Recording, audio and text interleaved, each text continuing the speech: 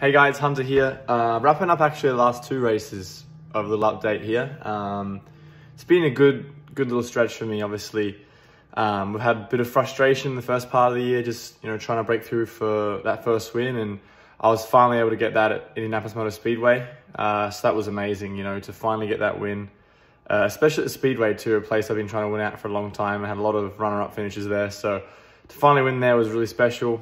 Uh, moved up to second in points, so really establishing myself in the championship fight, which was great. Uh, and then last night we just had our second and, and final oval race of the year at Gateway in Madison, Illinois. It was a, a, good race. Unfortunately, qualifying was cancelled, so uh, yet again the championship leader got another free pole, but uh, we started second, so definitely couldn't complain too much. Uh, settled into a great rhythm, got to the lead briefly, and then unfortunately got a little held up by some lap traffic, and then shuffled back to second, but was pushing for the win all race. Um, the last few laps I had a go at passing for the lead and unfortunately didn't pay off and dropped me to third, but another podium, so can't complain too much.